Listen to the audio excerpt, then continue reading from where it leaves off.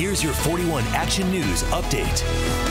I'm Christa Dubill here, your 41 Action News headlines. Friday night, MoDOT will close southbound lanes of the Buck O'Neil Bridge to make some repairs. The shutdown starts in less than an hour at 7 o'clock. Drivers will have to use the Heart of America Bridge instead. All lanes should reopen before rush hour Monday morning.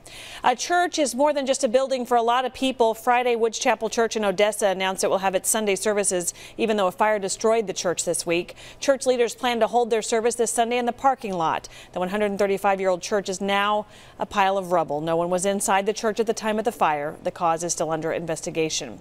This is Fire Prevention Week, and it's not just about testing your smoke alarms. It's also about looking at the expiration date. Did you know that smoke alarms have an expiration date? Now, once you take the smoke detector off, you flip it over, and there's a born-on date on the back, and you want to replace those after 10 years. If nothing else, if if we got people to say, I didn't know that, I should look then it's a win for the fire service and for safety in general. And there you go. Smoke alarms can still work after 10 years, just not as effectively. And they say don't take the old one down until you have a new one to put up. All right, here's Jeff Penner with your forecast.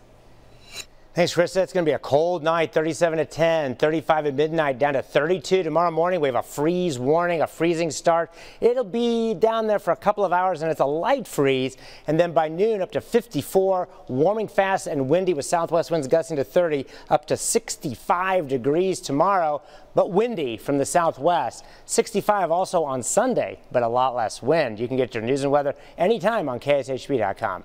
Cutting the cable cord? 41 Action News is now on Roku. Search KSHB, add our channel, and you're set. All of our newscasts stream live. No other station in Kansas City can say that. Get clear, complete coverage on 41 Action News now on Roku.